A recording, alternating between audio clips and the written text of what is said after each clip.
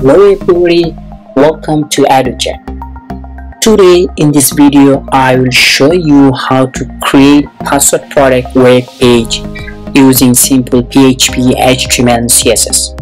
User have to write a correct password to see the web page content or without password user will not able to see the web page content. To create password protect web page it takes only two steps First step, make a PHP file and define markup. Second step, make a CSS file and define style. And please don't forget to subscribe, like, comments this channel. And I hope you like this video and stay with me. So let's go jump on code.